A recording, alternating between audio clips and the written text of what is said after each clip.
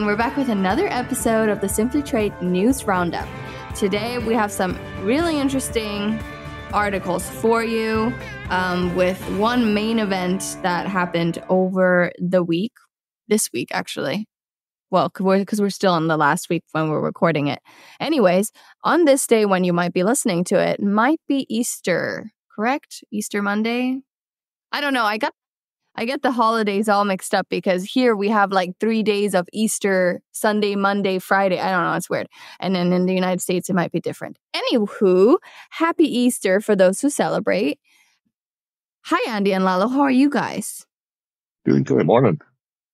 Awesome. Well, it's a beautiful spring morning with lots of rain for me, but I know for you guys it might be different. You might have a blue sky, which sounds pretty nice. Oh, listen, it's this is a beautiful spring morning in in Memphis. As I would say, it makes you as giddy as a filly on a spring morning. Well, good one. Well, uh, so with our first article, we're springing it back. We're bringing back some themes in here. We're springing it back. It's kind of a tragic art- article, though, because this week we had a tragic event happening, and it's still kind of everything is kind of still happening and we're getting more evidence while this event is turning out. But you probably know we're talking about the Baltimore Bridge, which is the Francis Scott Key Bridge in Baltimore. And it is actually one of the busiest ports there in the United States, which is intense. And that bridge is huge. I mean, if you haven't seen the video by now, uh, maybe we can link it and you can watch the video because it's, I mean, it it's crazy. And well, a huge, what is it called? One of those ships, container ship, hit it. And there's been lots of articles around it because the story is still developing. Not sure what exactly happened. Right now, we're at a stand where it lost energy and so they couldn't control the ship. But let's talk on it because as this happened for people working in the supply chain industry or, you know, in logistics in general, they kind of had to turn on the switch because the ports is enclosed. Shipments might not get through. Your shipments might be on that ship that's going to be stuck there for a long time. Your shipments might even be in the water. They might, you know, be ruined. Your customers are waiting for those goods. So what do you do? Or what should people in that position, you know, when you're I and I know it's been a few days now, but as this is happening, what do people in this industry have to do to you know stay how how would you say it? Have all you know have all their goods recovered and be okay with their in their supply supply chain. What are you guys' first initial thoughts on this? Well i let me just jump in. I, I in when first off this is a catastrophic event for the, the ship in that area. In the midst of that, the you know people are saying, "Well, I got to get my goods, or I need to do this or that." You know, you just got to stand down. You don't have any choice in this. Physically getting your goods and rerouting them to a different carrier or something. That's anything that's on that particular ship's going to be tied up for at least a month. now, that said, if there are people that are involved in this, you start doing the planning you might as well go ahead and plan on replacing the commodity or replacing the shipment and and get that underway because that's it, it, unless you can withstand a, at least a 30 day delay. The other thing is is you start looking at your marine insurance and all that. We're going to be having a show talking specifically about marine insurance cargo insurance, things of that nature, with some folks from the assured, uh, the insurance and surety industry, because you you know this is some of the things you need to look at. The case in point with the also the your your com- contract commitments and all is that you look at your deadlines, what you're being held to uh, as far as you know in this particular case. Are you going to be able to meet your deadlines and at this point, you you're not. So it's like, what are your fallback? What are your repercussions? What are you? Uh, are there any contractual penalties that you are going to have to pay, or is this something that you can be able to, you know, take? The there's usually ex- exceptions in the statements in the contract. So that's one of the things that'll come into play here, and you'll have to exercise that. The other thing, though, then is longer term. All right, yeah, you know, supply chain is going to be disrupted again, out in and out of the Baltimore port. So looking at it, you know the other ports are going to start experiencing a bit more congestion as that volume starts being moved to other ports as far as imports and exports. That also means rail in and out of those other ports are probably going to be a bit more congested and trucking. So that's one of the things that's going to be coming out of this is that there's some definite uh, short term opportunities. I hate to say it that way. In some of the other ports, there's going to be a, a huge demand for more truckers, more equipment, more, you know, containers, if you will, and chassis to, to move those containers in the other ports. So there's, they'll get the port open just as quickly as they can, but just understand for the short term, you're going to have some, you know, fallback situations. And then you start looking at diversifying your, this is why it's good to diversify your supply chain so that you're not always, you know, contingent on one particular area or whatever, so that you can, you know, look at multiple areas. But most of this probably within 60 days, you know, I, I expect them to open up the port within 30 days with the cranes and, and all that, maybe within only a couple of weeks. Yeah, it's that, that, that chassis. I saw an article that said months. Well, it'll take months to rebuild the the bridge my suspicion is they are going to be trying port? to open up the channel because you've got other ships that are in that channel just to get those ships out of that channel. Uh, you know, okay, it, yeah. That'd be one thing. So we'll see what happens. Now, will it be open for full business? No, it's, I think there'll be some traffic going in and out. But, you know, again, that's one of those, we just have to wait and see. Yeah. Uh, also, something, I mean, these, these companies or uh, businesses, whatever, logistics companies, they're losing money, right?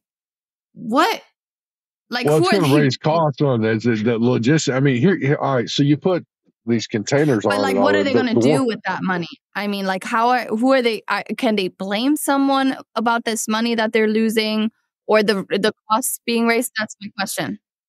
No, what I was going to say is, um, so this brings up things that we, I mean, whose fault it is and all this and that. I mean, that's just going to have to be worked out one way or another. But that still does not excuse the fact that as a, as a importer exporter, um, cause there's several factors here as a shipper, let's call it what you need to be doing to, I mean, basically to prepare for something like this. I mean, there's so many people that never, I mean, not people, there's so many entities or companies that do not get cargo insurance, for example.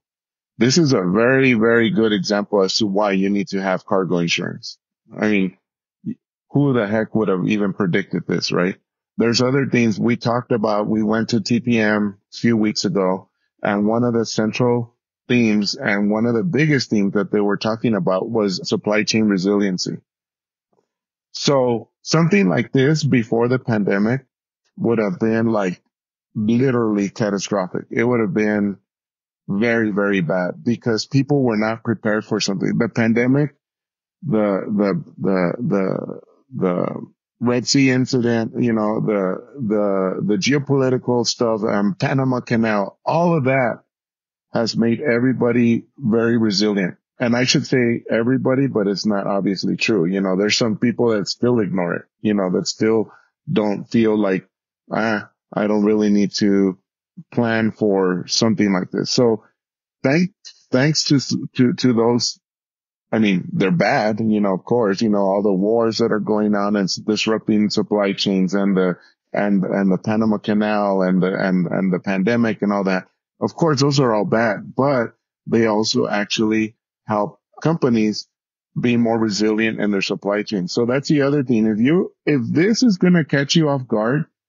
it's kind of your own fault. I, am going to say, you know, I'm not going to, and I don't want to judge or, or say anything really bad about anybody, but honestly, you should have already had a, a, a, some kind of plan. You should be more resilient.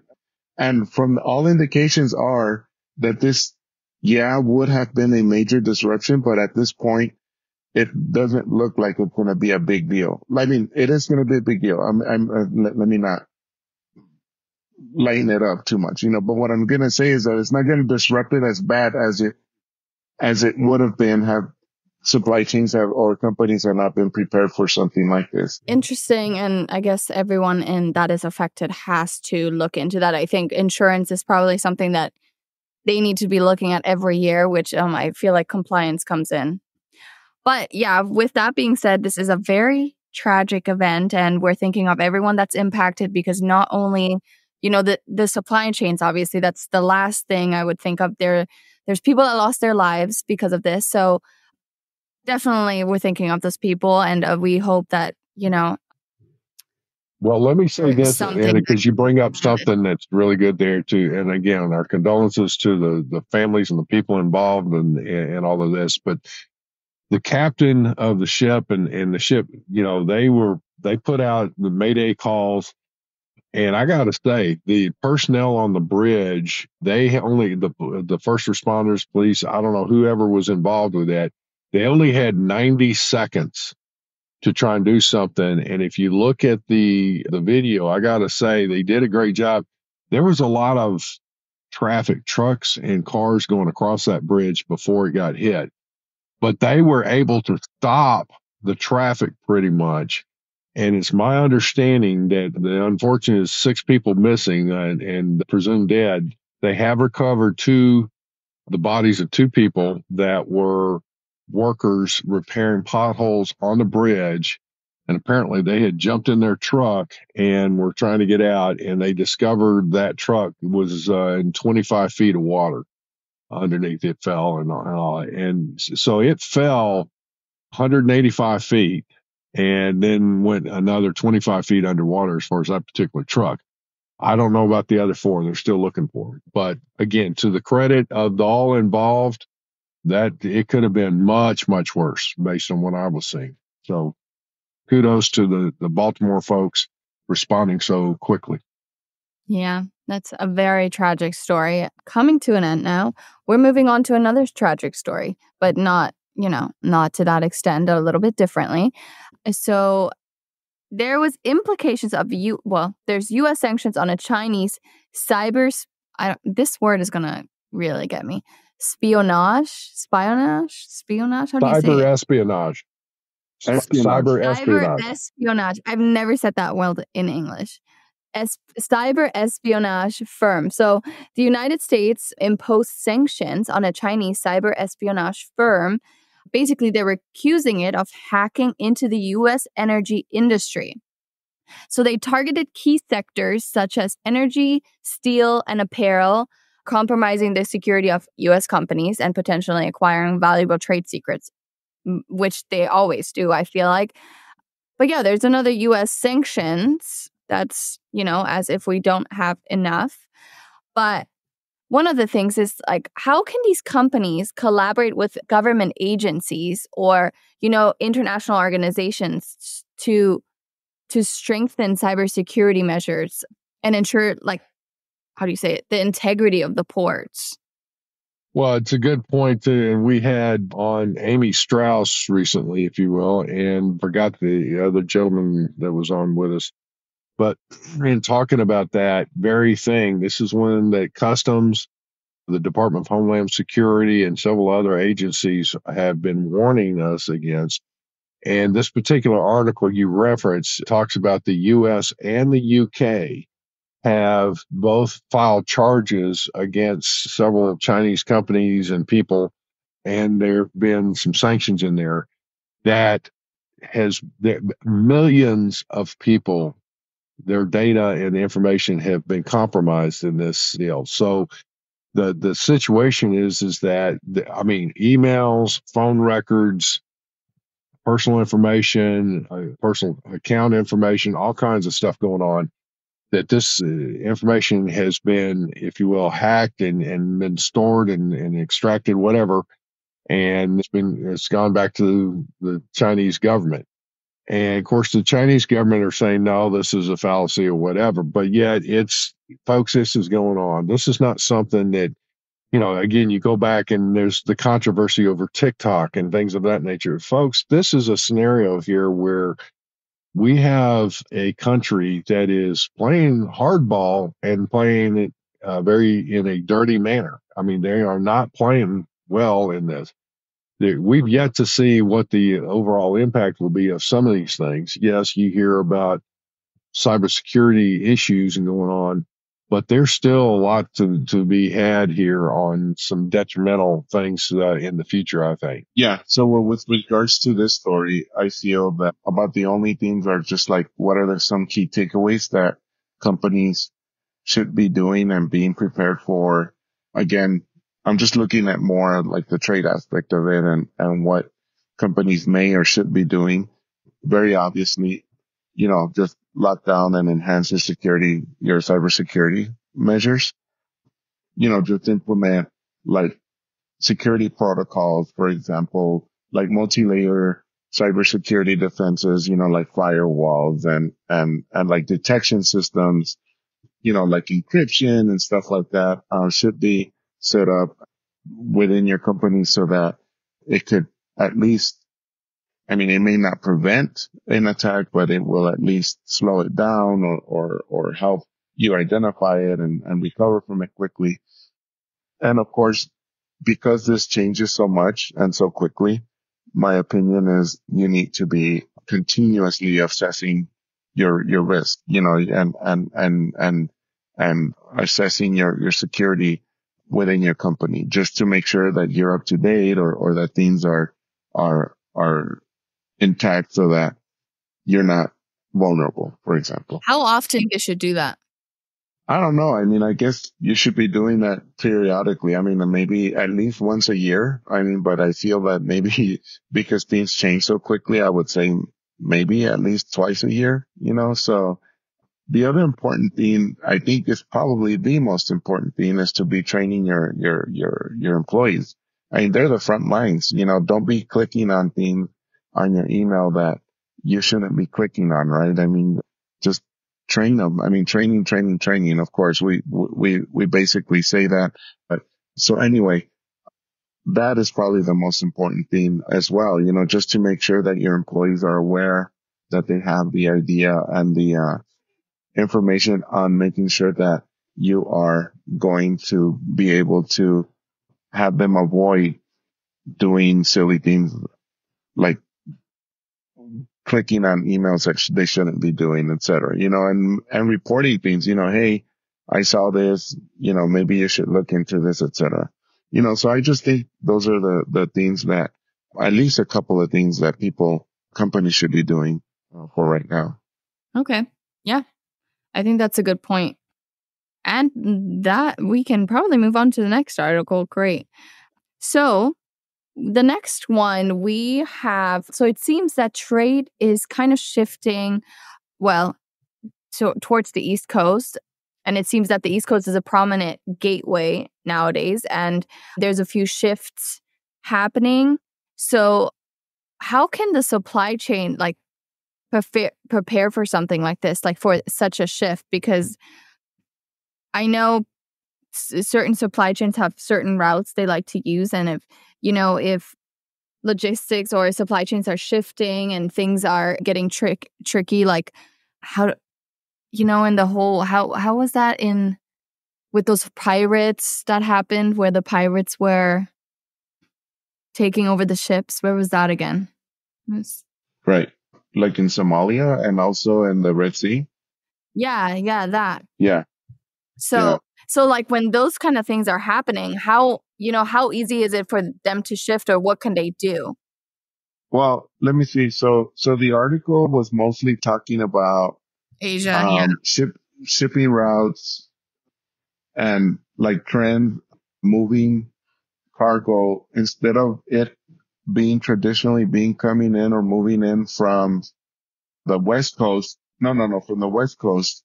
Now they're moving and coming in from the East Coast. So, so like apparently the trade route have been shifting from, from, you know, one coast to the other. So that's the main theme that this article was talking about. I guess it's just where traditionally the, the trade routes were, were dominated by the West Coast, now it seems to be more of a trend to going to the East Coast. Yeah, yeah, I noticed. I, you know, when I hear, when I read supply chain disruptions, I ultimately think of like all those things that are going on. But obviously, there can probably be many more factors to that as of better material or, you know, strategic advantages do you think companies should diversify or depend on only a single source market? Like what what do you think is best for companies like in this market industry right now? Definitely diversify. I mean, it, it even I think some of the disruptions like the Baltimore scenario or some of the others uh, because companies have started looking at different sources than just one they're able to respond and get back up and running faster so they have resiliency in their supply chain. They're able to bounce back faster. So definitely you're better off to diversify. Even if you've got a single product having more than one location manufacturing that product gives you flexibility. Okay very, yeah, I agree. I mean, I feel like diversifying is always good. Like whether it's as a person to diversify or, you know, in the supply chain, I, I think it makes sense. So that concludes our articles for this news roundup. But I do have a fun fact for you guys since it was Easter or is Easter, wherever you are.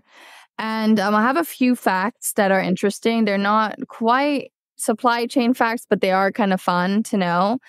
First off, Easter is the second biggest candy eating occasion in the USA. Yes, I'm saying in the USA. I don't think it is here, to be honest. We don't eat a lot of candy. All we do here is we eat the chocolate bunnies because also they originated in Germany. So, way back then, I love them. They're so yummy. Anyways, I have another one. So, 90 million chocolate Easter bunnies are produced annually in the USA which is lots. And wow. 700 million peeps are made. Yeah. 700 million peeps are made in the US every year. I do not like peeps. So not I'm not good. a peep fan, but there's a lot then, of people who love peep. I know, oh, but yeah. it's not a thing here really, but I know in the United States it is. And 66% of Americans prefer solid chocolate bunnies to hollow ones. And most agree that the correct way to eat them first is ears first. I like the hollow ones. I guess I'm I'm I'm different because I'm not part of those sixty six percent. Listen, they used to be solid. There was no question about it. And then they got to the point where, you know, they made the hollow ones. You thought that you were getting a solid one. You made the hollow ones, and like, are you kidding? They were saving money. What it was. So I think the hollow ones are much better. You eat less chocolate and they're still so good and they're they're cute. Anyways, also 16 billion jelly beans are made for Easter annually in the United States. That's just crazy. 16 billion jelly beans. Okay. Anyways, I never even heard of jelly beans before I left this country, which is hilarious. Oh my and, uh, gosh, jelly concludes- beans are so good. so good. Wait, they used we used to play this game. They have this game of jelly beans, which is like guess the jelly bean, and some of them are gross, and you had to close your eyes and you had to eat one, and then you had to guess. And some of them, literally, they were like two of the like it could be like gum or it could be something that tastes really disgusting. I don't know if you guys have played that, but it, it was so fun. Yeah, so that is it. Wishing you again a happy Easter. Thanks for listening. Tune in next week. And yes.